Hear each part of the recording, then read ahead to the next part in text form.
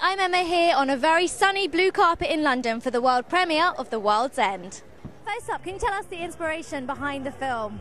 When I was a, a young and foolish teenager, I attempted to do a pub crawl in my hometown, and it went very badly wrong.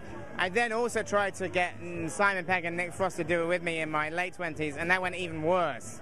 And at that point, I decided that maybe this was a bad idea, but maybe it could make a good film, and there was something interesting in uh, seeing kind of uh, old friends trying to recreate something from their youth.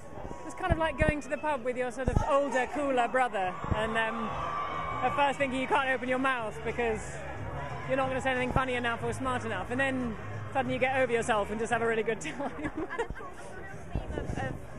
The, men regressing back to boys, and you're really the adult amongst them. What was that dynamic like? yes, well observed. Isn't that how? Isn't, isn't, that just mimicking real life? No, I, no, it was um, it was quite nice. In, in a film like this, I quite relished being the responsible one. Just kind of. Um, you know, it's, she, she's been sort of chased by these boys ever since she was 16 years old, and I think finally she's a sort of woman with the gumption to tell them where to put it. My character's called Stephen. How does he fit into the gang? Stephen is a little bit of the guy who wanted to be the leader of the gang, but Gary overshadowed him always in every department, even stealing his teenage love from him. So he's the guy who always wanted to. He's probably the coolest of the gang, actually, and that's true in real life. But um, yeah, he was always overshadowed by Gary. Yeah, we're all friends. We, we all know each other's work, and we, we've been around enough now to know these guys write, write great films. Edgar's a great director.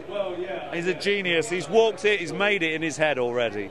The fight scenes, the fight scenes are amazing. There's one fight scene in particular that's going to blow people away. A big fight scene, you know. And what do you hope that audiences will take away from the film? Uh, I hope they. I hope that it, it, it, mirrors like a night out drinking for them in terms of it's like it's it. Hopefully they'll find it funny. It's emotional. It's action packed. There's a lot of drama, and uh, you know it ends in like a sort of an explosion of liquids of sorts.